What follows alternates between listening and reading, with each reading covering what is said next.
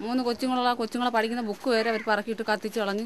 ഇന്ന് നമ്മൾ ഇങ്ങോട്ട് വരാൻ ഇങ്ങോട്ട് വരുന്നെന്ന് അറിഞ്ഞുകൊണ്ട് നമ്മൾ വരാൻ നിന്നപ്പോൾ അവർ പറഞ്ഞ് പോയിട്ടൊക്കെ വന്നിട്ട് ഇന്ന് നിനക്കൊക്കെ അടിക്കുമെന്ന് പറഞ്ഞിട്ട് അവരോട് ഇരിക്കുകയാണ് സംഘം കൂടി. ഈ ആർ എസ് എസിന്റെ ആൾക്കാർ എന്റെ പേര് Kochumol. Kochumol. D H R പ്രവർത്തകർ തന്നെയായിരുന്നു നമുക്ക് ഒരുപാട് ഇതിൽ മാറ്റങ്ങളുണ്ടായി അതുകൊണ്ടാണ് നമ്മൾ ഡി എച്ച് ആർമിലേക്ക് പോയത്. വെച്ചാൽ ഡി എച്ച് ആർമിൽ പോണതിന് മുമ്പേ നമ്മൾ ഈ കഞ്ചാവ് കച്ചവടവും ഇവിടെ മോഷണമൊക്കെ ഉള്ള സ്ഥലം വരുന്നു. കഞ്ചാവ് കച്ചവടവും ചാരായ കച്ചവടവും ഇതെല്ലാം നിർത്തലാക്കാൻ നോക്കിയപ്പോൾ അവർ പറഞ്ഞു വെച്ചാൽ സ്റ്റേഷനിൽ അവർക്ക് അധികാരം ഉള്ളതുകൊണ്ടാണ് അവർ കച്ചവടം ചെയ്യുന്നതെന്നാണ് പറഞ്ഞത്.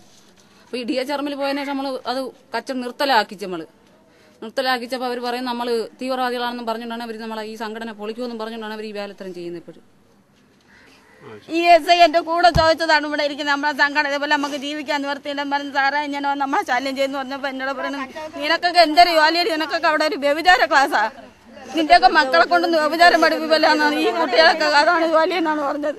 ഈ കൊച്ചിനെ ഞാൻ കൊണ്ടുവന്ന് പഠിക്കാൻ നിവർത്തിയില്ല എന്ന് പറഞ്ഞപ്പോൾ നിന്റെയൊക്കെ വ്യഭിചാര ക്ലാസ് കൊണ്ട് പോയിട്ട് നിനക്കൊക്കെ വ്യഭിചാരം പഠിപ്പിക്കലാന്നാണ് നമ്മുടെ ചോദിക്കുന്നത്. എല്ലാം തകർത്ത് അതിനകത്ത് ഒരു സാധനം പോലും ഇല്ല. ഇപ്പൊ ഞാൻ വേറെ എന്റെ ഒരു വേറൊരു കൂട്ടുകാരി ഇവിടെ ദൂരെയാണ് പോയിരിക്കും താമസിക്കുന്നത്. അവർ സ്കൂളിന്റെ ടെസ്റ്റിലൊക്കെ അവിടെ ഇരിക്കുന്നു സാർ ഒരു ടെസ്റ്റ് പോലും വീട്ടിലില്ല. എല്ലാ ബുക്കുകളും ഒരു ടെസ്റ്റിന് ഒരു അമ്പത് നാപ്പത്തഞ്ച് രൂപ ഒരു ടെസ്റ്റിനൊക്കെ തന്നെ. ഇറങ്ങി നോക്കിയേക്കണം. എല്ലാം നശിപ്പിച്ച് അവിടെ ഇട്ടിരിക്കുന്നു. പേരെന്താണ്?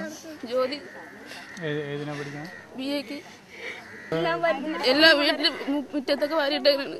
അത് ഈ കൊച്ചിന്റെ പ്ലസ് ടു ഞാൻ പ്ലസ് വൺ പഠിക്കുന്ന എന്റെ ബുക്കും നഷ്ടപ്പെട്ട് എല്ലാവരും കീറി കളയാൻ ടെസ്റ്റിനൊക്കെ തന്നെ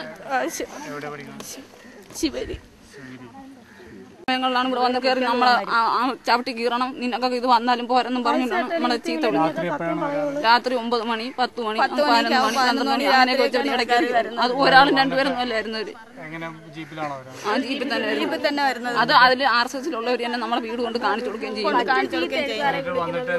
വന്നിട്ട് നിന്റെയൊക്കെ മാപ്പിളാരോട് നിന്നെയൊക്കെ മറ്റൊന്നും ചവിട്ടി കീറണമെന്നും പറഞ്ഞിട്ട് നമ്മളെ ചീത്ത വിളിക്കും എന്നിട്ട് ഇവരെല്ലാം കൈ കൊണ്ട് വീഴ്ചയൊക്കെ ചെയ്യും അടിക്കാൻ. അവരെ കൊണ്ട് ഒരുപാട് പീഡനം തന്നെ നമ്മൾ കൊടുക്കുന്ന പരാതി പോലും ഇവിടെ എടുക്കുന്നില്ല. എവിടെയാണെന്ന് പോലും അറിയാൻ കഴിയും. കാണാതെ തന്നെ പോയി ആ അവർ പോലീസ് എസ് ഐ പറഞ്ഞെന്ന് വെച്ചാൽ ആണുങ്ങളെ കിട്ടണമെന്നുണ്ടെങ്കിൽ ഇതിലുള്ള ആണുങ്ങളെ കിട്ടുന്നുണ്ടെങ്കിൽ ഇതിലുള്ള ആണുങ്ങളെ കിട്ടണമെന്നുണ്ടെങ്കിൽ നിങ്ങൾ അടിച്ച് മുറിവറ്റാത്ത രീതിയിൽ എസ് ഐനെ ഏൽപ്പിക്കണമെന്ന് പറഞ്ഞു. അതേ കണക്ക് തന്നെ അവർ ചെയ്യുകയും ചെയ്യുന്നത്. ഈ അടിയായിരുന്നു ആർ സാർ വീട് കയറി അടിച്ചപ്പോൾ ഇറങ്ങി ഓടിയതാണ് സാർ. എനിക്ക് രണ്ട് പൊടി കൊച്ചുങ്ങളുണ്ട്. അതിനിട്ടുകൊണ്ട് ഞാൻ എന്റെ നാത്തൂന്റെ വീട്ടിലാണ് നിൽക്കുന്നത് അവിടെ രണ്ട് പോലീസുകാർ തിരക്കി വന്ന് എന്റെ ഭർത്താവിനെ തിരക്കി വന്ന് എനിക്ക് അറിഞ്ഞൂടാന്ന് പറഞ്ഞ് നീ എന്റെ വീട്ടിൽ പോകാത്തെന്ന് ചോദിച്ചപ്പോൾ എന്റെ നാത്തും പറഞ്ഞ് ഇവിടെ പട്ടിണി കിടന്നുകൊണ്ട് ഞാൻ വിളിച്ചുകൊണ്ട് പോയതാണെന്ന്. അതിന് ആ പോലീസുകാരന്റെ അടുത്ത് ഞാൻ പറഞ്ഞു എന്നെ ഇവിടെയുള്ള പെണ്ണുങ്ങൾ അടിക്കുമെന്ന് പറയുന്നു. അപ്പോൾ പറഞ്ഞു നിന്നെയൊക്കെ ഇത് അടിച്ചാൽ പോലെ പോലീസല്ല. ഇനിയിപ്പോൾ നാട്ടുകാരല്ല പോലീസാണ് അടിക്കാൻ പോകണമെന്ന് പറഞ്ഞ് അന്ന് എന്നോട് വഴക്ക് പറഞ്ഞു. ഭർത്താവിന്റെ പേര് മണികണ്ഠൻ. മേച്ചിരി ജോലിയായിരുന്നു. ഇരുപതാം തീയതി കാണാനില്ല. കഴിഞ്ഞ മാസം ഇരുപതാം തീയതി നമ്മൾ അന്വേഷിക്കുക എന്റെ എനിക്ക് ആരുമില്ല സാർ എന്റെ വീട്ടിൽ കൊടുത്തിരുന്നു. പരാതി കൊടുത്തിരുന്നു. പരാതി നമ്മളെല്ലാരും ഒരുമിച്ചാണ് കൊടുത്തത്. ചീറി കളഞ്ഞു. ആരാണ് കയറിയത് പെണ്ണ് എടുത്ത് ആറ്റിങ്ങിൽ കളഞ്ഞു നമ്മളെല്ലാവരും ഒരുമിച്ചാണ് സാറേ കൊടുത്തത്. ഡിവൈഎസ്പി അതിനെ കുറിച്ച് നമുക്ക് പറഞ്ഞു സാറേ അതിന് രണ്ടു ദിവസം മുമ്പ് ഞായറാഴ്ചയാണ് ഇവിടെ പ്രശ്നം നടക്കുന്നത്. ആ പ്രശ്നത്തിന് നമ്മൾ അതിന് രണ്ടു ദിവസം മുമ്പാണോ ഇവിടെ ഇവിടെ ആർ എസ് എസ് ആര് വന്ന് വീട് കയറി അടിക്കുന്നത്? ഞായറാഴ്ച എന്നാണ് ഇവിടെ ഇങ്ങനെ ഈ കൊലപാതകം പ്രശ്നം ഉണ്ടായത് എന്നാണ്? അത് ചൊവ്വാഴ്ച ബുധനാഴ്ച കൊണ്ടാണ് കൊലപാതകം നടക്കുന്നത്. നമ്മളിവിടെ പ്രശ്നം നടന്നത് ഞായറാഴ്ച ഇവിടെ കാര്യം വന്ന് അടിച്ചു കൊടുത്താൽ നമ്മളെ ഭർത്താക്കന്മാർ ഇവിടെ ഉള്ള ആമ്പിള്ളേരെ മൊത്തം അത് അത് രണ്ടു ദിവസം കഴിഞ്ഞ കാര്യം തന്നെ. കോളനിയിൽ തന്നെയുള്ള ആളുകളാണോ? പുറത്തുനിന്ന് ആൾ വരും നമ്മളെ കോളനിയിൽ ആ സംഘടന ചേർന്ന് നമ്മൾ ഇവിടെ ഇരിക്കുമ്പോൾ പോലീസ് വന്നിട്ടുണ്ട് ഒരിക്കൽ. അന്ന് നമ്മൾ ലൈസൻസ് ഒക്കെ ഉണ്ടായിരുന്നു. നമ്മൾ കാണിച്ച പറഞ്ഞു കുഴപ്പമില്ല നിങ്ങൾ കൂടാൻ പറഞ്ഞിട്ടൊക്കെ പോയതാണ്. അതിനുശേഷം പ്രശ്നമൊന്നും ഉണ്ടായില്ല. ഇപ്പോൾ ശിവസേനക്കാർ വന്നതിന് ശേഷമാണ് ഇതിവിടെ നടത്താൻ പറ്റൂലെന്ന് പറഞ്ഞ് ഇവിടെയുള്ള നാട്ടുകാരും കൂടെ ശിവസേന ചേർന്ന് നമ്മൾ ആ വഴിയെ നടക്കുമ്പോൾ ചീത്ത വിളിക്കുമായിരുന്നു നമ്മൾ ആരും തിരിച്ചൊന്നും പറഞ്ഞിട്ടില്ല. അതിനുശേഷം ഈ ഇരുപതാം തീയതി പെട്ടെന്ന് ഇങ്ങോട്ട് കയറി അടിക്കുകയാണുണ്ടായത് അങ്ങനെ ഇവിടെ കഞ്ചാവ് വിൽക്കുന്ന വീടുകളുണ്ട് സാറേ. ആ ഈ നമ്മൾ ഈ സംഘടന തുടങ്ങിയ ശേഷം ആ കഞ്ചാവ് വിൽപ്പന മതിയാക്കി പെറ്റീഷൻ കൊടുത്ത് നിർത്തയിലാക്കി ചീട്ടുകളി ഉണ്ടായിരുന്നു. നമ്മുടെ ഭർത്താക്കന്മാരൊക്കെ പോലും പെറ്റീഷൻ കൊടുത്തത് പെറ്റീഷൻ കൂടെ നമ്മൾ എല്ലാവരും കൂടെ തന്നെ. സ്ത്രീകളാണോ അതോ ഡി എച്ച് ആർ എമ്മിന്റെ പേരിലാണോ?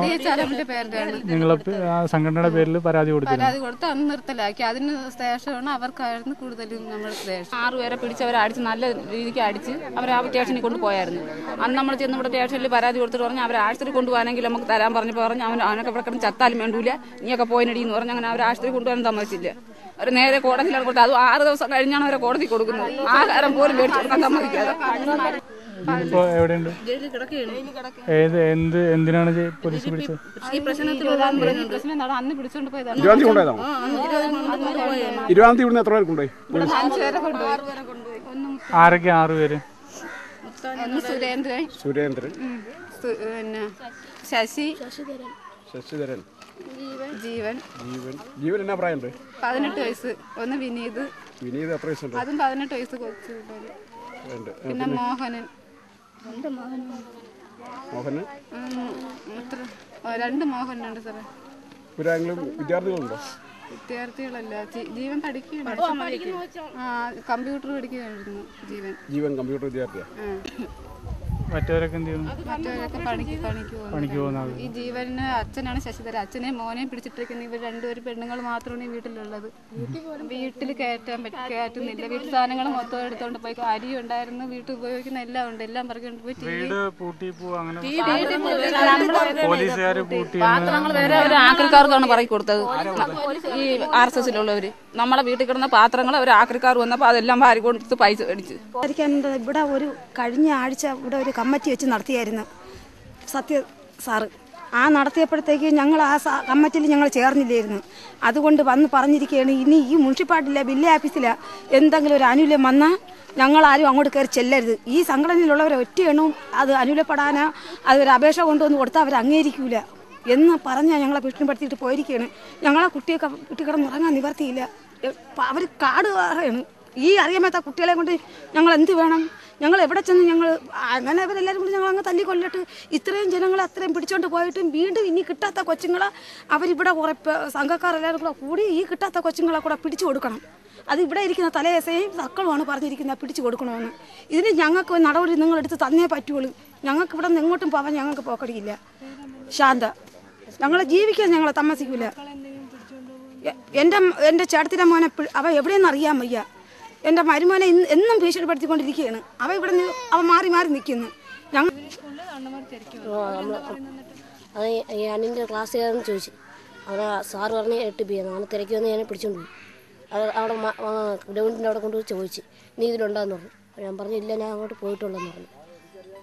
ഇനി അതിലുണ്ടെങ്കിൽ നിന്നെ അടിക്കുമെന്ന് പറഞ്ഞു.